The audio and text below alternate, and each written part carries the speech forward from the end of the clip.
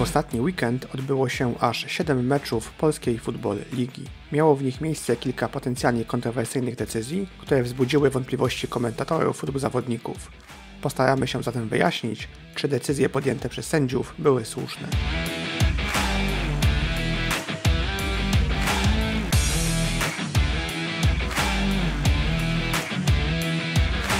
Popatrzmy na sytuację z meczu w Ząbkach, której rzucona została flaga za wbiegnięcie w kopacza. No zobaczymy. Tomek Długo Zubrycki. snap. Niewiele zabrakło. Ale chyba to jest najlepszy Co? pant. O nie! O panie sędzio! No to jest trochę... No i piłka wraca też w stronę ekipy kopiącej. No Panie zobaczmy. sędzio! Tu troszkę pan... No zobaczymy jak to też, Eee. jaka była dynamika tego, no ale to Nie, stary. flaga na boisku świadczy raczej o tym, że to było roughing the kicker, czyli Tak, tak, no jakby taka jest Kara- sugestia, natomiast... Y, no, mogłaby skutkować pierwszą próbą Lowlanders. No zobaczymy jeszcze, czekajmy na... powtórzę. A, zrobili, że jest running into the kicker, Okej. czyli 5 yardów kary i powtórzenie panta.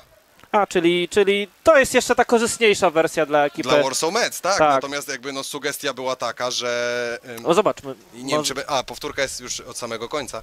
E, Natomiast naprawdę, no moim zdaniem nie było... O, teraz mamy okazję i jest... Znaczy nie, to było w tempie, no trudno Dokładnie, było, żeby dokładnie. zawodnik się Lowlanders... Zwłaszcza, że, że zawodnik y, Warsaw Mets był w powietrzu w momencie, kiedy on odkopywał tą piłkę. Ale wiemy, że chroni się takich zawodników Komentatorzy zauważyli, że kontakt na kopaczu był wykonany w tempo, a zawodnik obrony był już w powietrzu w momencie odkopnięcia.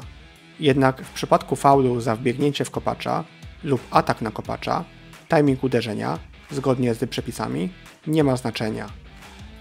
W przepisie 9.1.16a dokładnie opisano, że od momentu, w którym oczywiste jest, że nastąpi kopnięcie z akcji, żaden zawodnik nie może wbiec w kopacza lub go zaatakować. Sędziowie nie mogą zatem wziąć pod uwagę timingu samego uderzenia, a jedynie jego siłę. W oglądanej akcji nie widzimy, co dokładnie stało się z kopaczem, ale jeśli w wyniku kontaktu upadł on na ziemię, to siła była zdecydowanie wystarczająca do flagi za wbiegnięcie w kopacza.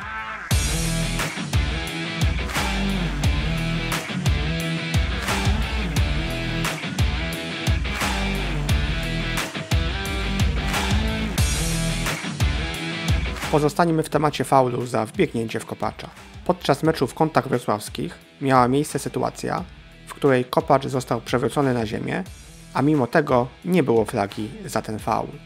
Do wspomnianego wcześniej przepisu 9.1.16 jest kilka wyjątków. Jeden z nich dotyczy zawodnika, który przed kontaktem z kopaczem dotyka piłkę. Zgodnie z przepisem 9.1.16a6 taki zawodnik nie popełnia faulu za wbiegnięcie lub atak na kopacza. W oglądanej sytuacji obrońca, który wbiegł w kopacza, wcześniej zablokował kopniętą piłkę, a zatem nie popełnił faulu. Warto pamiętać, że samo zablokowanie piłki nie sprawia, że kopacz całkowicie traci ochronę. Pozostali zawodnicy drużyny obrony, którzy nie dotknęli piłki, wciąż nie mogą w takiego kopacza wbiec lub go zaatakować.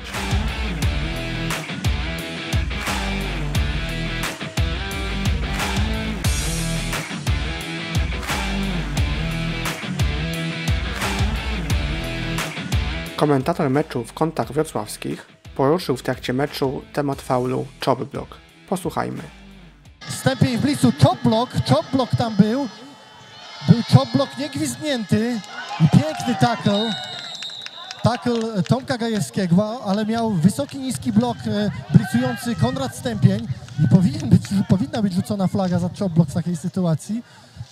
E, No, nie można w środku linii ofensywnej robić cut blocków pojedynczym zawodnikiem, bo to zawsze jest e, ryzyko, że drugi liniowy ofensywny położy tam swoją rękę. Mają szczęście Kingsi, że nikt tego nie zauważył.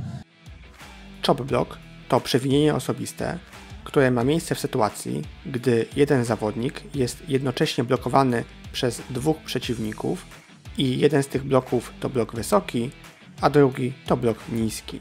W oglądanej sytuacji snapper zablokował poniżej pasa jednego z obrońców, ale stojący najbliżej lewy guard w tym samym czasie blokował zupełnie innego zawodnika.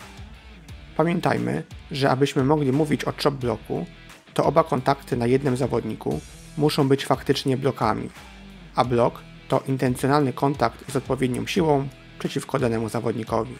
Być może pomiędzy obrońcą, który otrzymał niski blok, a lewym gardem doszło do jakiegoś kontaktu, ale taki incydentalny, przypadkowy kontakt nie spełnia definicji bloku i nie może być zatem elementem faulu za chop block. W tej sytuacji obaj zawodnicy ataku byli zaangażowani w bloki z dwoma różnymi obrońcami, a zatem chop block nie miał miejsca.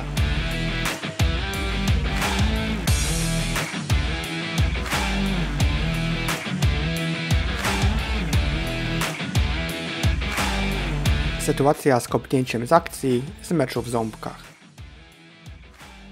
Popatrzmy na oznaczonego zawodnika.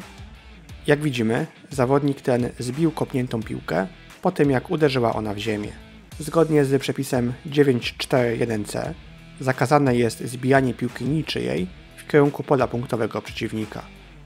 Ponieważ był to faul drużyny kopiącej, 10 yardów zostało odmierzone z miejsca przyznanego. To wszystkie sytuacje w tym tygodniu. Dziękujemy za oglądanie i do usłyszenia w kolejnym odcinku.